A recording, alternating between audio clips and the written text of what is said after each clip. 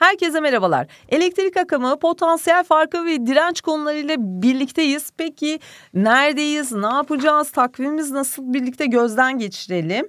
Ee, burada bizim takvimimizi eğer takip ediyorsanız hemen biliyorsunuzdur. Elektrik akım, potansiyel farkı ve direnç bakın çarşamba günü yayınlanıyor ve perşembe günü ne var? Kimyanın temel kanunları kaçırmayın derim.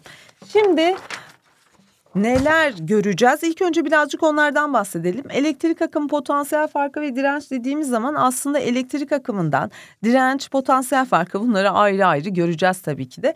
Aslında bu e, konuda en fazla önem verdiğimiz şey bunları birbirinden ayırabilmek. Ya yani daha sonra 11. sınıfta, 12. sınıfta bunların birbirlerine karışmaması için, bu kavramların ayrı ayrı anlaşılması için hepsinin birimlerini, sembollerini iyi bir şekilde öğrenmek, ne olduklarını bilmek gerekiyor. Bir de katı bir iletkenin direncinin bağlı olduğu değişkenleri analiz etmek. Burada da yine çok önemli bir konu. Aslında çok kolay bir konu ama biraz üzerinden zaman geçince hemen unutulabilen bir konu. O yüzden bir kere tam öğrenelim bir daha üzerinden geçmeyin artık 11 olsun 12 olsun bu konuyla ilgili çalışma yapmanıza bile gerek kalmasın diye düşünüyorum. Anahtar kelimelerimiz tabii ki de söylediğim kavramlar ve dolayısıyla biz yani bunlar bu kadar önemli. Sürekli görseniz de çok önemli. Temel kabulümüz öğrencinin elektrik yüklerinin artı ve eksi olarak sınıflandırıldığını bilmesi gerekmekte.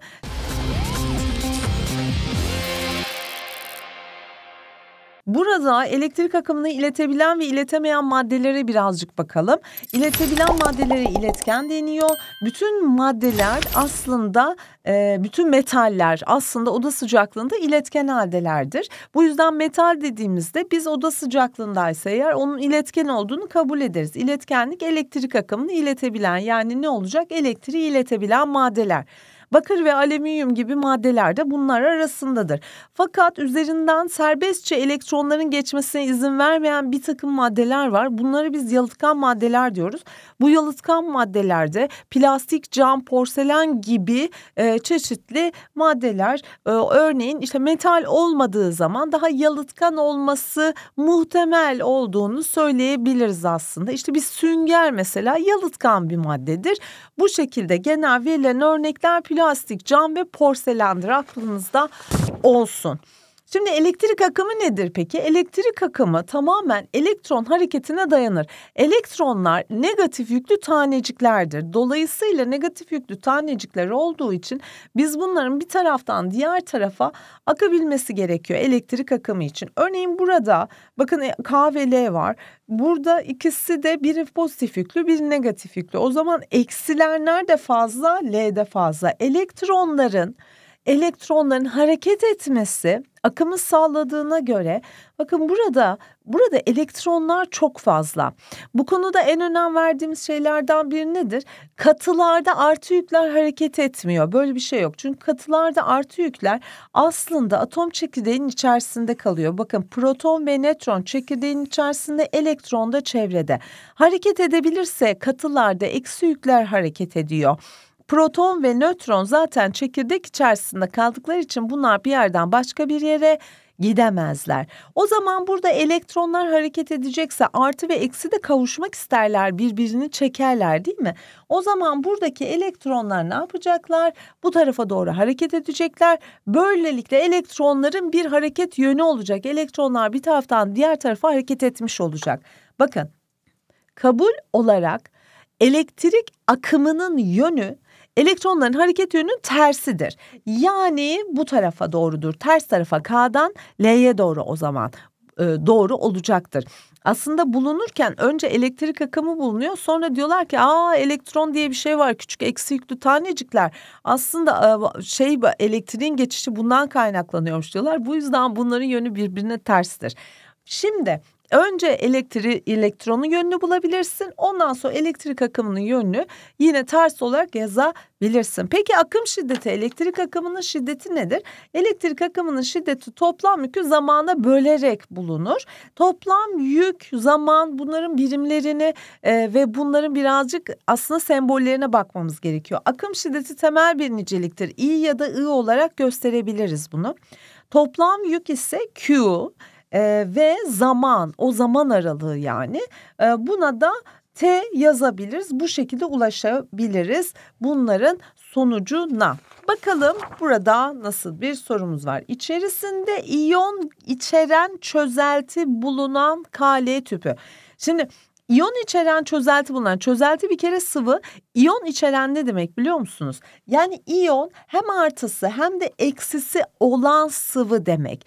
Örneğin NaCl, Na artı Cl eksiydi ya hani. Dolayısıyla burada eğer bir çözeltimiz varsa bakın katı bir madde değil bir çözeltimiz varsa iyonlar da hem artı hem eksi iyonlar bunlar çünkü elektron ya pardon şu proton değil artık bu bir iyon ve içeride serbest halde dolaşabiliyor. Doğal olarak bu ikisi de elektrik akımını iletebilir. Kali tüpünün S kesidinden 10 saniyede bir yönünde 30 klompluk bakın şu tarafa doğru 30 klompluk negatif negatif yüklü iyonlar geçiyor. İki yönünde de 50 klompluk ne geçiyormuş? Pozitif yüklü iyonlar geçiyormuş. Buna göre S kesidinden geçen yüklerin oluşturduğu e, akımın şiddetini ve yönünü. Şimdi burada bilmemiz gereken şey şu. Burada her ikisi de elektrik akımını sağlar. Her ikisi de. Neden? Bu bir katı madde değil. Katı madde olsaydı zaten artıların hareketinden bahsedemezdik.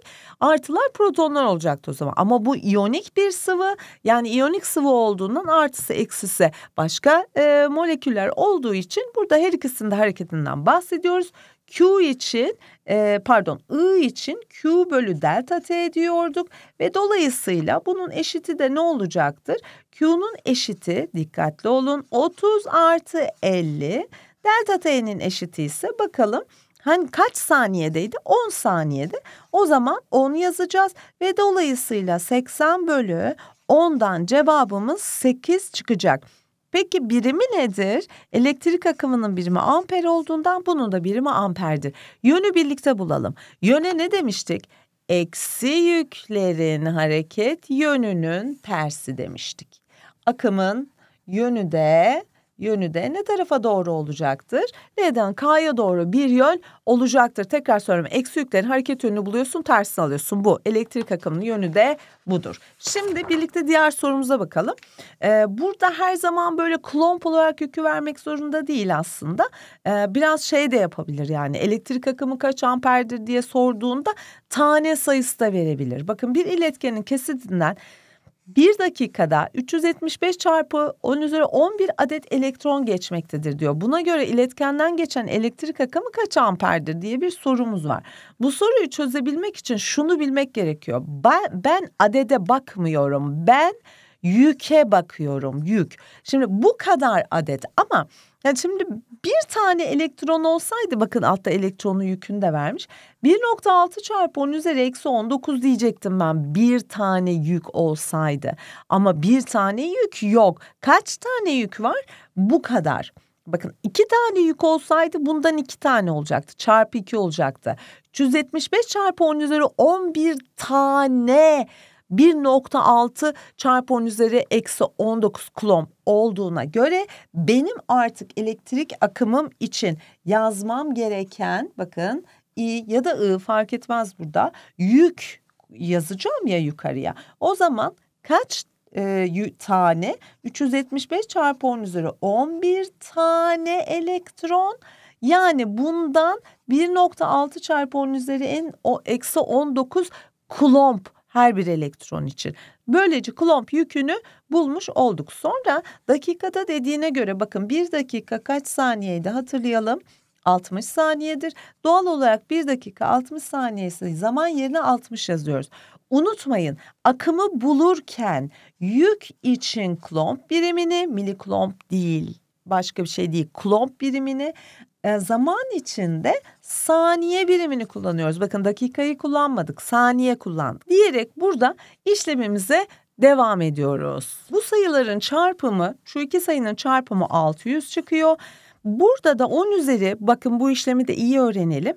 Tabanlar aynı olursa üstler de toplanıyor. O yüzden 11 artı eksi 19 yazarak bulabiliyoruz. Bölü 60.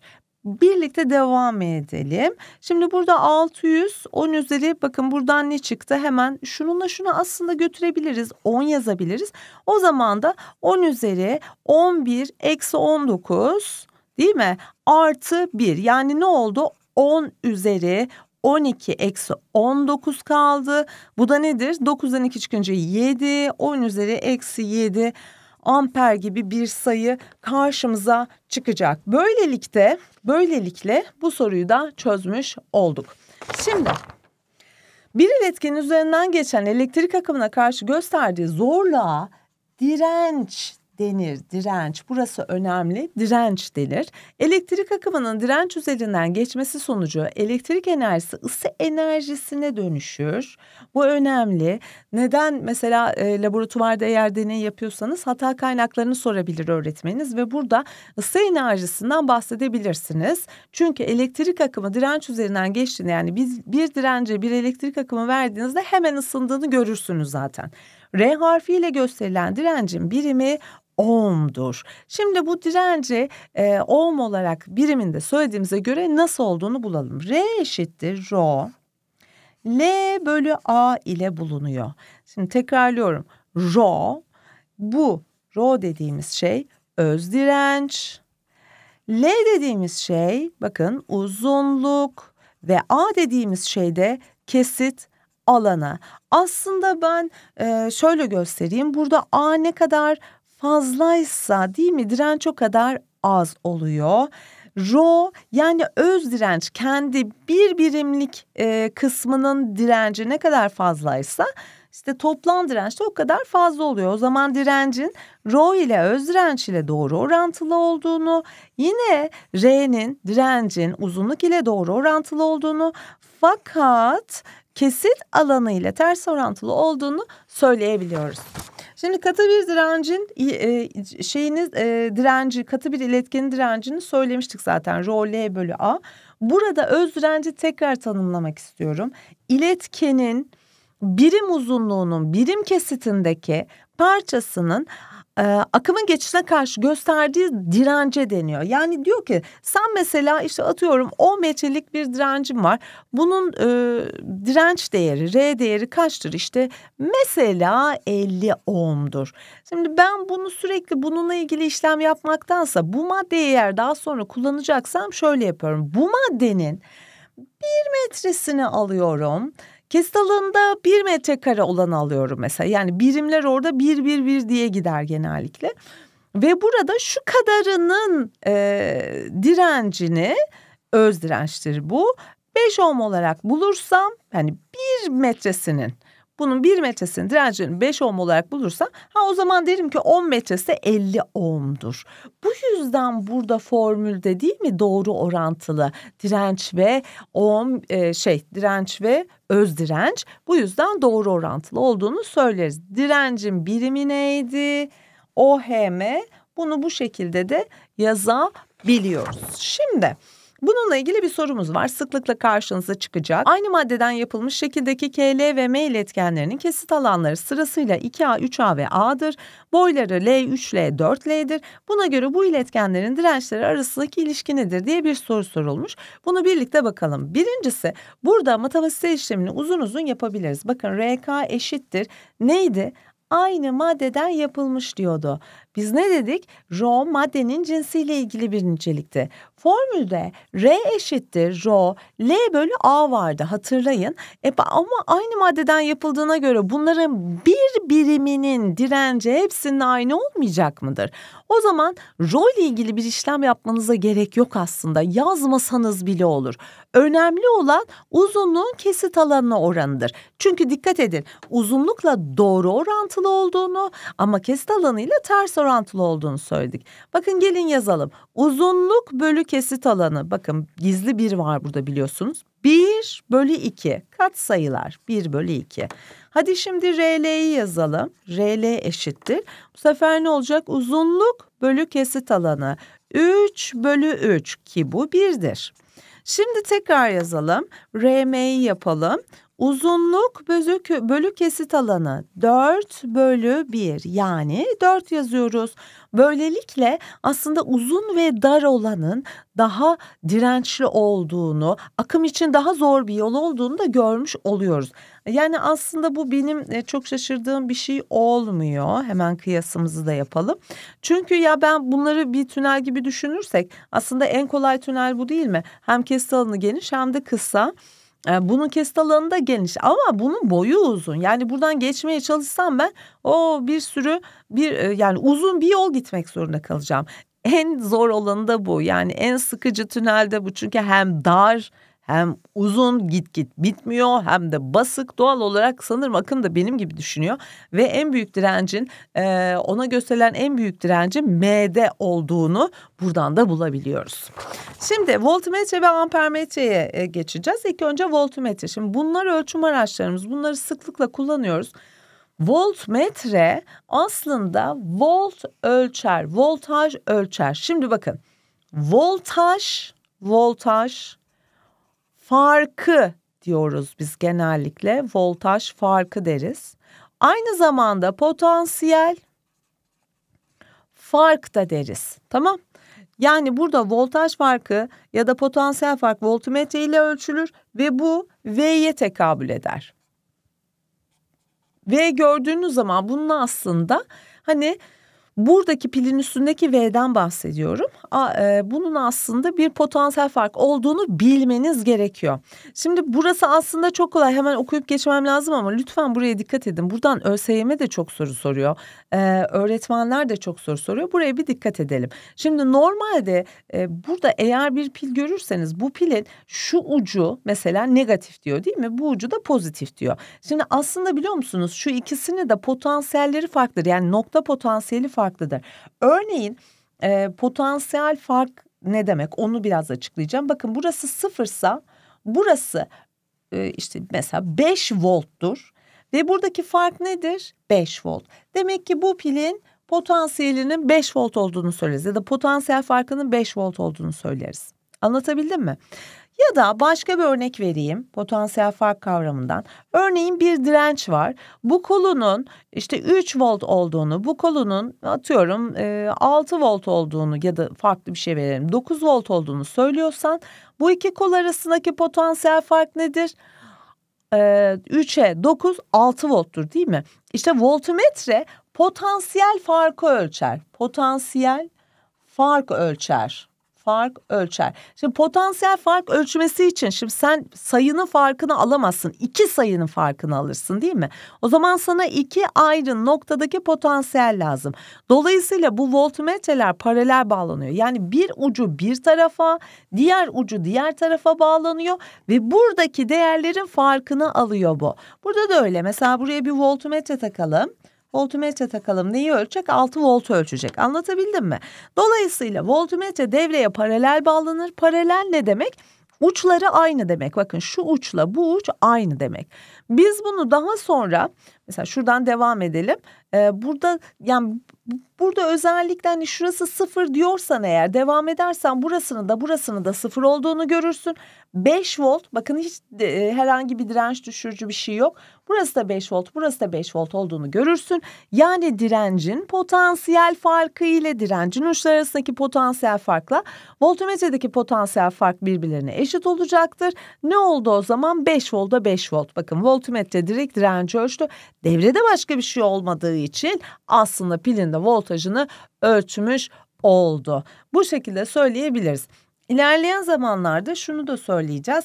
Unutmayın biz burada hani bu kadar şey söylüyoruz doğru evet hepsini doğru söylüyoruz ama her seferinde biz buraya hani bu kaç 5 volt mu sıfıra 5 o zaman demeyeceğiz.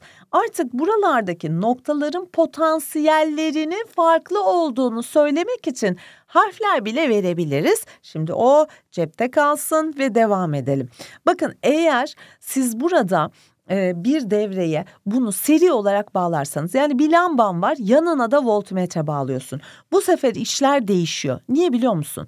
Sen voltmetrenin direncinin sonsuz olduğunu bilmelisin sonsuz. Dolayısıyla burada voltmetre gördüğün yerde voltmetre yalıtkan gibi davranır. Yani devreyi keser. Ne gibi davranıyormuş? Yalıtkan tel gibi. Devreyi kesti. E ne oldu? Yalıtkan tel gibi davranan voltmetre devreyi kesince ben buraya yalıtkan koydum. Akım geçebilir mi? Hayır geçemez. Dolayısıyla da bu devreye devre elemanında seri bağlı voltmetrede lamba yanmaz. Unutmayın lamba yanmaz. Böyle olmaz. Eğer lambayı yakmak istiyorsan ya da dirençten akım geçsin istiyorsan bu devrenin çalışmasını istiyorsan sen voltmetreyi paralel bağlayacaksın. Tamam? Bu yüzden de ne demiştik? İki bağlantısı noktası var ve voltmetre devrede iletken gibi davranıyor dedik. Şimdi ampermetreye bakalım. Ampermetrede durum şudur.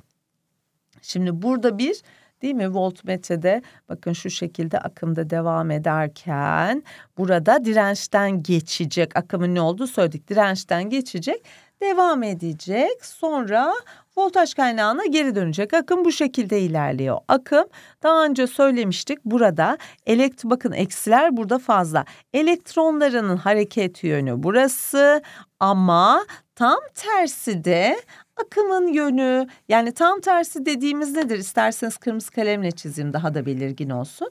Bu akımın yönüdür. Ne demek bu?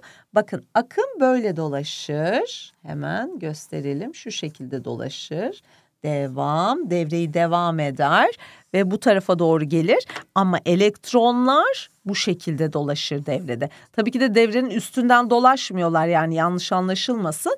Devrenin üstünden bir dolaşma söz konusu değil. Sadece devrenin içinde ama ikisini akımla ikisini aynı anda orada gösteremediğim için bu şekilde yazdım. Şimdi ben biliyorum ki buradan akım geçiyor ben akımın değerini ölçmeye çalışacağım. Akımın değerini ölçmeye çalışacaksam bu telin üstündeki aslında nasıl ölçüyorduk hatırlayın Q bölü T'yi ölçüyorduk. Bunu da bunu ölçeceğim. Yani bu telden geçen yükü ölçeceğim. O zaman ampermetreyi tele bağlamalıyım. Tele bağlayacaksam o zaman nasıl bağlamalıyım? Seri bağlamalıyım. Buna dikkat edelim. Bu yüzden seri bağlayacaksam da düşünsene.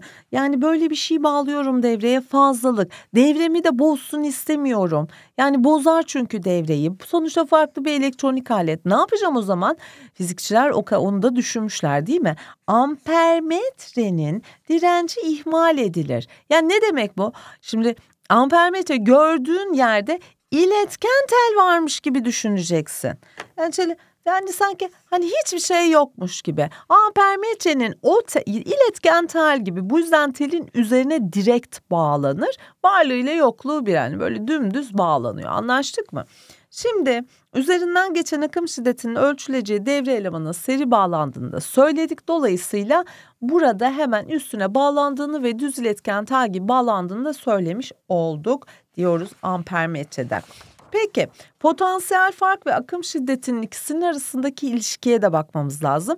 Çünkü hani direnci söyledik ya bakın buraya dikkat. Direnci nasıl söylemiştik? R eşittir rho L bölü A ile söylemiştik değil mi? Aslında bu nedir? Burada neden bahsediyoruz? Burada şundan bahsediyoruz. Sana direncin yapıldığı madde verilirse madde verildi burada. Dedi ki bu işte dedi ki bu bakır tel Efendim bunun dedi uzunluğu işte 3 metre, 5 metre, 10 metre. Kesit alanında işte 2 santimetre kare, 1 santimetre kare falan bir şey söyledi sana. Sana dedi bunun direncini söyle. Tamam onun formülü var. Rho L bölü A diye söyleyebiliriz. Ama sana bunları vermedi. Yapısal hiçbir özelliğini vermedi. Ama dedi ki ben bir direnç var elimde. Bunu dedi devreme bağlıyorum. Böyle bir devrem var dedi böyle bir pilim var dedi. Bu devreye bağlıyorum. V potansiyel verdiğimde ampermetre de varmış demek ki. Nasıl bağlanıyordu? Seri. Ve e, bir de şunu söyleyeyim bu ampermetrenin buraya ya da buraya bağlanmasının hiçbir farkı yok çocuklar. İstersen buraya da bağlarım fark etmez. Yani bu tel üzerinde bir yere bağlamam bu tel üzerinden geçen akımı kul, e, ölçmesi demektir bu kadar. Şimdi dedi ki ben bir direnç var devreye bağladım. V potansiyelini ver fark altında I akımı geçiyor. 2V potansiyel farkı altında 2 I akımı geçiyor. E dedi bunun direnci nedir? Ha böyle bir soruda yani sen devreye koydun böyle bir soruda direnci nasıl bulacaksın? Potansiyel farkı akım şiddetine böleceksin. Yani R eşittir V bölü I ile yapacaksın. Peki bunu ezberlemek zorunda mıyım? Evet ezberlemek zorundasın ama bunun içinde küçük bir e, üçgenimiz var. Şurası V ya hani şurası ters V ya. Anlaştık mı üçgenin şeyi? V'yi yukarı yaz, I ile R'yi de yanına yaz. O zaman söyleyelim. V eşittir. Kapattım. I çarpı R. Yani potansiyel fark akım ve direncin çarpımına eşit. I eşittir. Kapattım. V bölü R. Yani akım potansiyel fark bölü direnç demektir. Direnci kapatıyorum şimdi. Onu da şöyle yazalım. R eşittir V bölü I. Gördünüz mü? Potansiyel farkı akıma bölersen de direnci bulursun. Böylelikle yani üç formülüm yok aslında ama sorularda sıklıkla kullanacaksın. Üç farklı şey e, görmen, bunları ayrı ayrı görmen senin için iyi olur. Neydi bu da? Evin çatısını ters e, şey yaptın, ters çevirdin. I, zaten yan yana yazıyorsun. Bunu genellikle şey diye de söylerler aslında. Vır formülü, vır vır da vır vır formülü diye de söylerler. Aklında olsun. O zaman biz bir de direncin değiştiği durumlara bakalım. Çünkü e, hani grafiğini de verdik. Direnç değişirse ne olur? Elektrik devresinde akım şiddetini değiştirmek için kullanılan ayarlanabilir dirençlere reosta denir. Laboratuvara girdiğin zaman laboratuvarda e, üniversitede öyleydi böyle. Bize diyorduk işte 10 ohmluk 50 ohmluk direnç bul işte 20 ohmluk direnç bul falan. İşte herkes koşuyor dirençleri buluyor.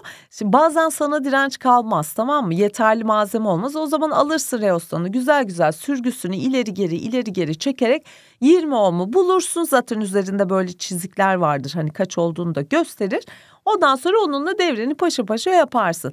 Biraz daha e, ısınma gerçekleşir. Daha böyle hani sade bir dirençten daha fazla hata payın olur ama devre çalışır. Şimdi biz bunu göreceğiz. Bu alet nasıl bir şeymiş? Onu göreceğiz. Şimdi devremde bir tane potansiyel farkı e, üreten e, üreticim var. Bir akımım geçecek. Bu yüzden ne koyacağım? Direnç. Direnç yerine ayarlanabilir direnç koyacağım. Şimdi ben ayarlanabilir direnci nasıl kullanıyorum buna bakalım. Tamamen akımın yönü üzerine çalışan bir e, akımın gittiği yol üzerine çalışan bir alet. Bakın buradan çıktım yola akımım ben. Gidiyorum gidiyorum önüme hiçbir direnç konmadı. Oh oh ne güzel devam ediyorum. Tellerden devam ettim buraya geldim. Nereye gideceğim? Buraya gideceğim. Sence bu tarafa gider miyim? Bura boş. Gitmem. Beni burası çağırıyor. Bakın arttan eksiye gidiyoruz. Burası çağırıyor. O zaman bu tarafa doğru. Oo zorlandım. Dirençler var. Ne oldu o zaman? Buraya geri geldim. Tamam şimdi burada durum nedir? Bakın şurası var ya şurası.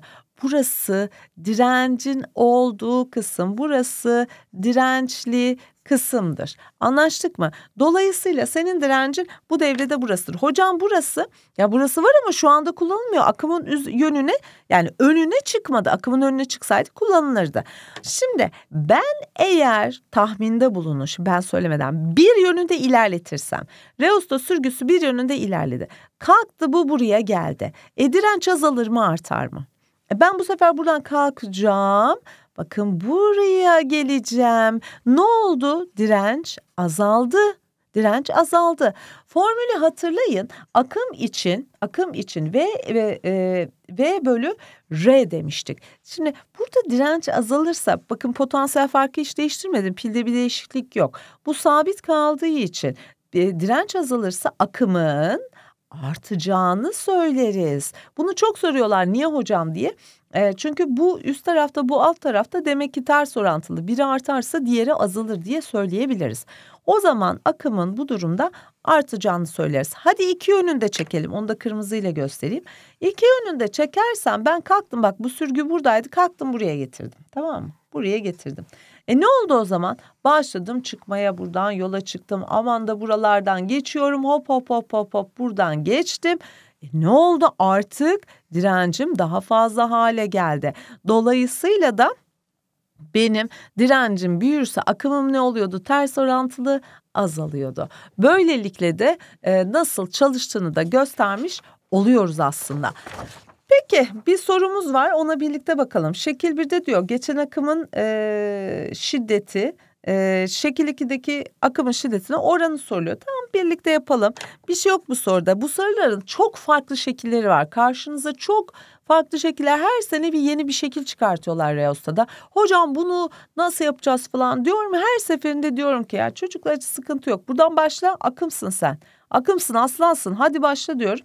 Başlıyor buradan gitmeye gidiyor gidiyor gidiyor gidiyor gidiyor.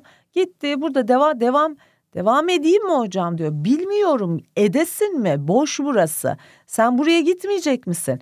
Sen eğer e, işte atıyorum İstanbul'dan Adana'ya gideceksin. Şey Adana'ya gideceğin zaman mesela ara sokaklardaki çıkmaz yollara giriyor musun? Gerek yok. Sen gideceksin. O zaman ne yapacaksın? Buradan gideceksin buradaki dirençlerden geçip ne yapacaksın? Buraya geri döneceksin. Ne kadar dirençten geçtin? 20 ohm. O zaman benim akımım neydi? Bakın burası 20 ohmmuş yazalım. Akımım neydi? Birlikte yapalım. V bölü R'ydi değil mi? O zaman yazıyorum. V 30, R 20. O zaman 30 ee, bölü 20 3 bölü 2 diye bırakabilirim. İsterseniz bir buçuk yazın fark etmez. Şu işlemde zorlanan öğrencilerim ne yapacaklar? Ne yapıyorduk? V'yi V'yi zaten buradan kopya bile veriyor. Yanında V var. Üste yazıyorduk. I ile R'yi yan yana yazıyorduk. I'sını bilmiyorum. Direncim 20. I eşittir. Kapattım. Ne çıktı? 30 bölü 20 çıktı. Yani 3 bölü 2 çıktı. Buradan tekrar yapabilirsiniz. Şimdi geldik buraya. Buradaki devrede ise bakın birlikte tekrar yapalım. Akımın yolunu izliyorum. Akım artıdan çıkıyordu. Gitti gitti gitti gitti gitti gitti. Nerede? Sürgü burada. Çıkmaz yola gireyim mi? Ne gereği var? Aşağı ineceğim. Hocam bu tarafa gideyim mi? Boş burası boş. Gerek yok. Sen yoluna devam edeceksin. Neden? Buraya gelmeye çalışıyorsun. Ne oldu artık direncin? 10 ohm. O zaman Burası I1'di. I2 için ne yapacağız? Voltajı yani 30'u kaça böleceğiz? 10'a böleceğiz. Cevap 3 çıkacak. Birlikte bunların oranını yapalım. Bazen öğrenciler buraya kadar geliyorlar gerisini yapamıyorlar. Şimdi ben yavaş yapacağım. Rahat rahat yapabilin. Bakın birinci ve ikinci de kesirli işlem varsa birinci aynen yazılır. İkinci ters çevirip çarpılır. Üçtü. At taklayı 1 bölü 3. Dolayısıyla buradan çıkacak sonuç bir, e, 1 bölü 2. Ve böylelikle bu sorunuzda bu sorumuzda aslında çözmüş olduk. Şimdi ben e, tabii ki de birkaç tane bir kitap göstereceğim. Çünkü bunlarla ilgili daha fazla soru çözmek istiyorsanız aslında dinamo setimizi alabilirsiniz.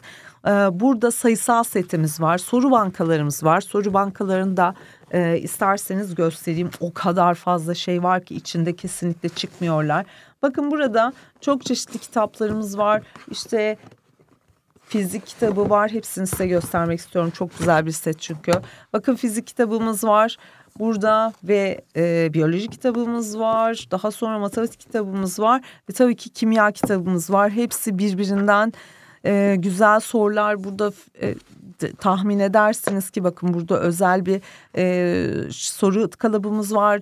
Ondan sonra onunla ilgili benzer örnekler var. Kendinizi tartabileceğiniz pek çok örnek burada var. Çalışmak isteyen, daha fazla çalışmak isteyen, özellikle 10. sınıfı iyi bir şekilde öğrenmek isteyen arkadaşlarım dinamo setini kesinlikle almalılar. Şimdi ödüllü sorumuza geçelim. Ödüllü sorumuza karşınızda. Hepinize başarılar diliyorum.